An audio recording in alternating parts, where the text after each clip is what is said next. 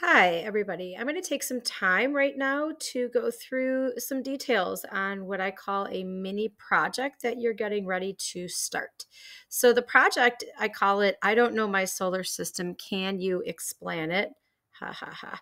Um, and we are going to be creating um, a project using the Twitter platform. So, I'm going to kind of go through the sheet and I'm going to share it with you um, the background is this we all know that Twitter or any social media for that matter, Instagram, Snapchat, um, they've changed the way that people communicate today. So, what we have to imagine is what if this technology existed in the past? I want you to think about what the Twitter feed of someone you know that's famous might might have looked like. Um, so Aristarchus of Samos was a famous astronomer and what he discovered is that the sun was the center of the solar system, not the earth. So if he knew that, this is what he might have tweeted right here. It says, The universe doesn't revolve around you, it revolves around the sun. Hashtag sun centered. So I want you to imagine today, because you're going to be assigned either an astronomer or a spacecraft. I want you to imagine that ancient, ancient astronomers tweeted about their lives or even space satellites. Somebody was tweeting. Um, we're going to use our history knowledge, our literacy skills, and our imaginations to explore famous astronomers and space satellites that are responsible for modern day models of our solar system. So, the first thing that we're going to do is you guys, when we're done with this little video, you'll log into Google Classroom to access what's called the tweet sheet. And that's where you're going to gather your research notes. Um, you'll there on that tweet sheet find your assigned astronomer or your spacecraft. And on this tweet sheet, you're going to use these links and documents that I have in Google Classroom to research your assigned astronomer or spacecraft. So I want you to know that as you're reading through the info, you'll be gathering information to complete the tweet sheet before you even create the, the Twitter page. So I'm going to pause right here and show you an example of the tweet sheet. I'm just going to use my fourth hour because I have that one done already. So this is what it's going to look like. And you're going to see that I have an example at the top. So here's the example I read you for Aristarchus. And you can see um, there's the little tweet that I had on the paper. Um, I made up a handle for him for Twitter. I called him a hashtag at math genius because um, he used math to prove that the sun was the center of the solar system. Do you see right here where it says 81? Well, 81 is the number of characters that are in this tweet right here. And I only want you to go to a max of 140, but it automatically counts. So right here, if I was typing something and I wrote hello, um, you would see over here, it would, well, it should. Oh yeah, it automatically changes to five. Uh, there's five letters there. So this is going to be where you're going to type your tweets that you see right here. And then the hashtag here, notice that this one right here says Aristotle that's your assigned topic. So once again, I'm using my fourth hour, and this is going to be a pairs project. Some of you will be working individually depending on how the classes shake out. But in this particular case, Alex and Harmony have Aristotle.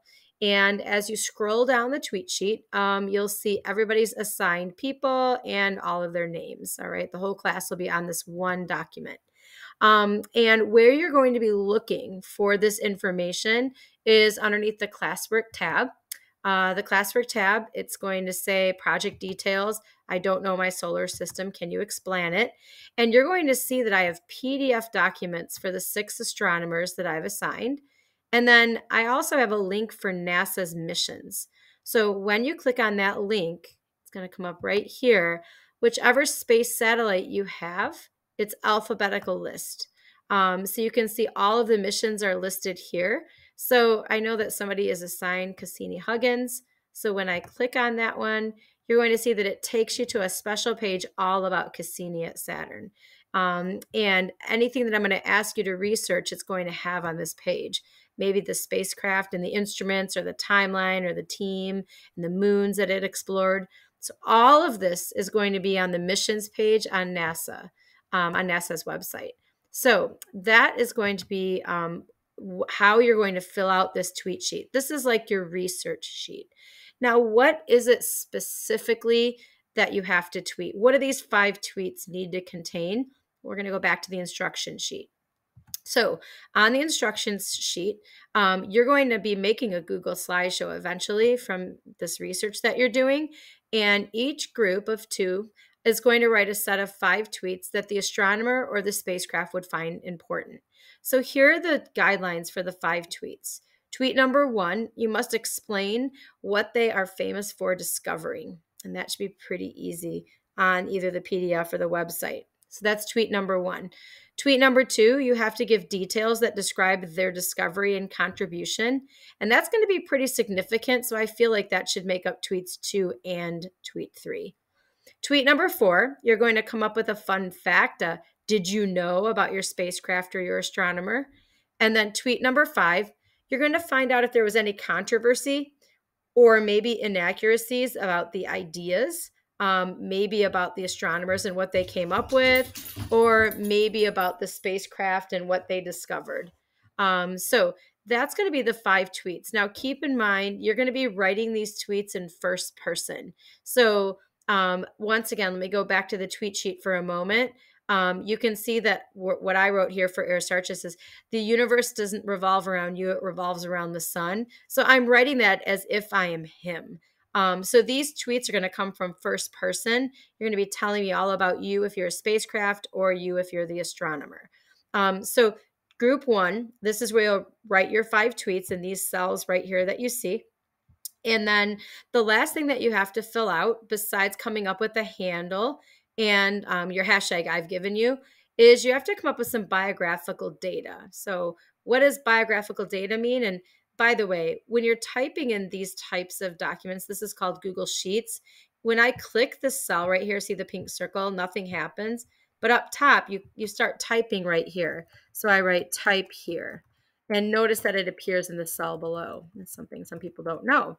All right, so what goes in biographical data? Well, if we go back to the um, instruction sheet, it says the biographical data, you're going to find out where they were born, the dates, their nationality, um, their basic personal information, the dates that they might have had a Twitter account and when it would have been applicable, uh, the cool website links with important information about your astronomer. So this is if you have astronomers.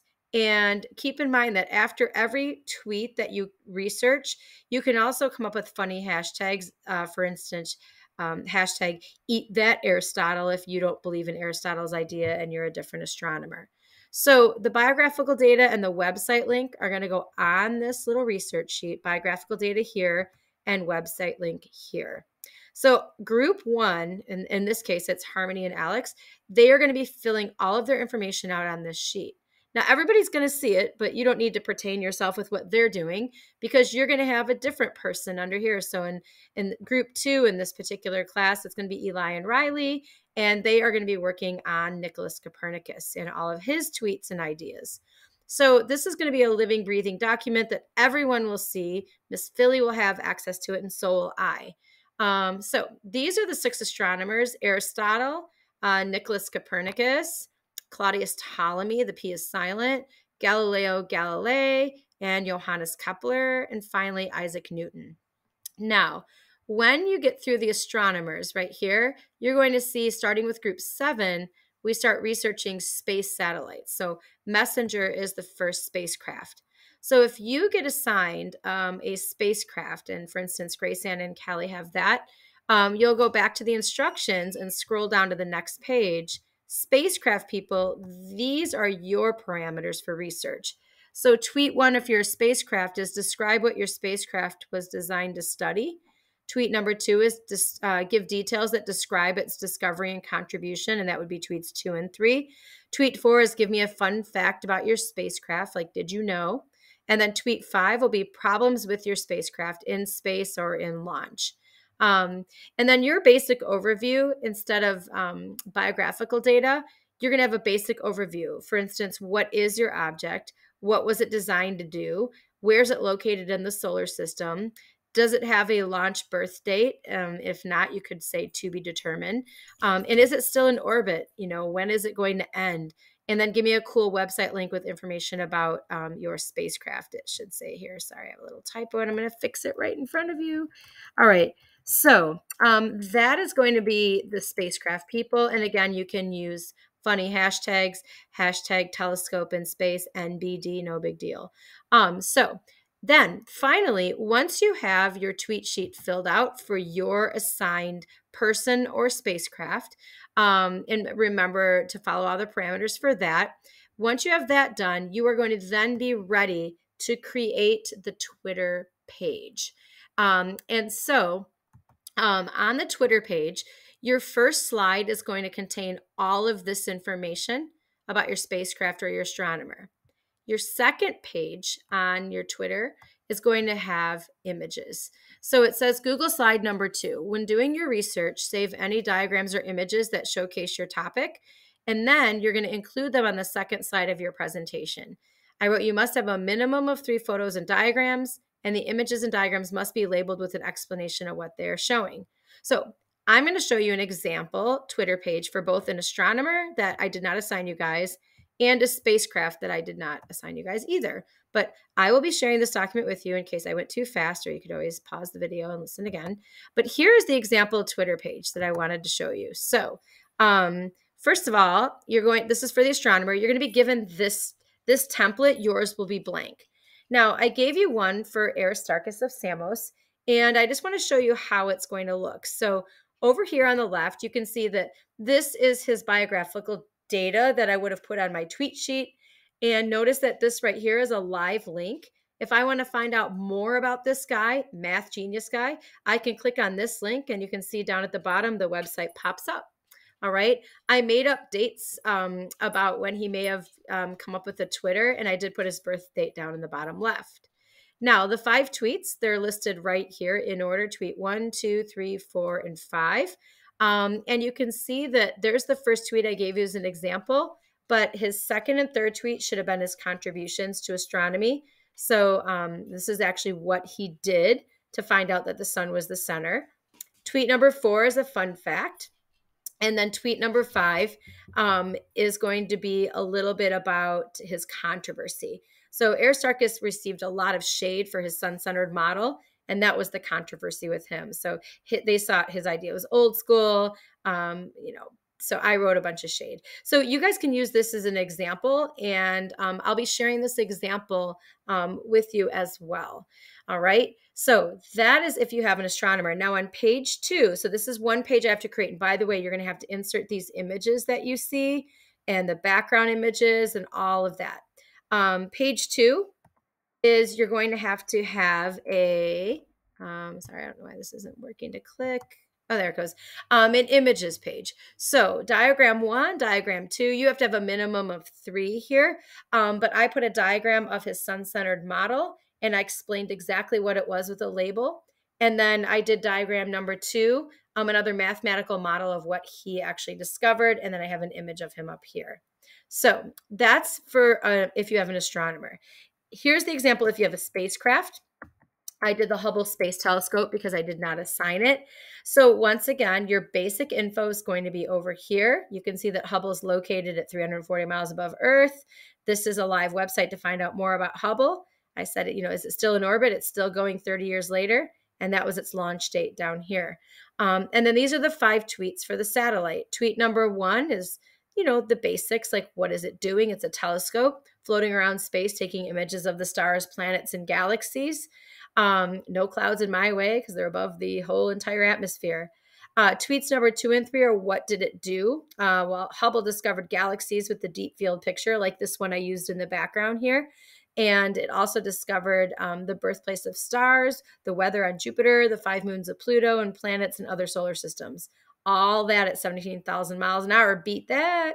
Um, Hubble also peered back into time and discovered an object more than 13.7 billion light years old. So Hubble essentially discovered the age of the universe that we know of today. Um, so change astronomy forever, no big deal. I'm a big deal.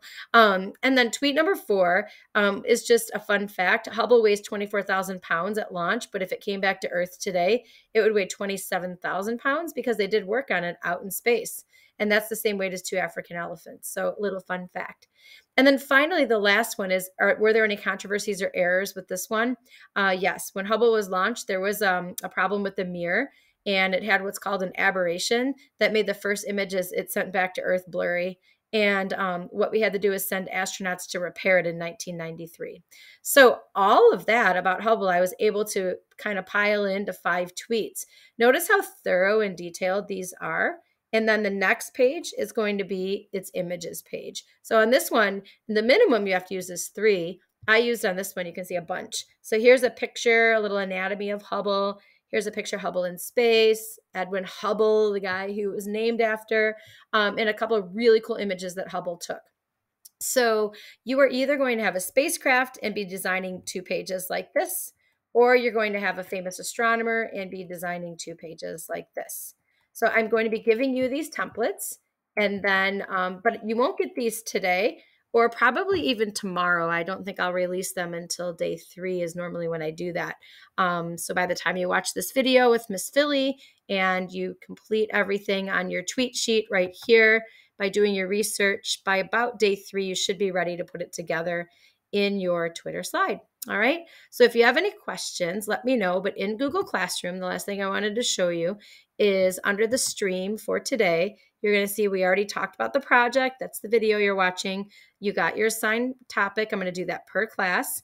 And the tweet sheet that I showed you is going to be linked below when we are ready for it. And I'll launch those tweet sheets per hour automatically when you guys get to class. Um, so you'll be clicking down here today to start your research, and you'll do that today and tomorrow. And by day three, you will have the templates ready to fill in. All right.